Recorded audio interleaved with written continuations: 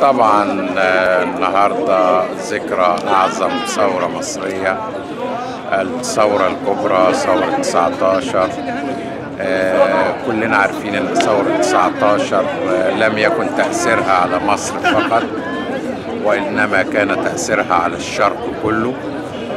ثورة 19 آه، أسست لهوية مصرية وأسست لدولة المواطنة وأسست للمساواة وأعطت للمرأة حقوقها وأسست لاقتصاد وطني آه، قوي وأسست لاستقلال مصر سنة 22 وأيضا لدستور آه، سنة 23 وهو من أعظم الدساتير المصرية.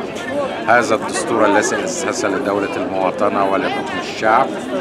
وفي ذات الوقت فإن نتائج هذه الثورة آه، كانت آه، لأنها كانت بتضم تيار الحركة الوطنية المصرية بالكامل في مواجهة الاحتلال الإنجليزي. آه، كلنا يعرف تأثير هذه الثورة على معظم دول العالم وكلنا يعرف آه، ماذا عبقرية سعد زغلول في أن يجعل الشعب المصري ينصهر في بوتقة واحدة وتأثر به معظم الثوار والمجاهدين في العالم كله.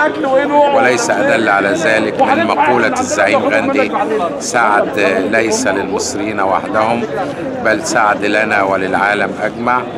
آه هذه بعض ملامح آه ثورة 19 وبمناسبة ذكراها اليوم 9 مارس آه طبعا بنأتي إلى ضريح الزعيم سعد زغلول آه لنقرأ الفاتحة على روحه ونتذكر كل ما قدموا لهذا الوطن. شكرا.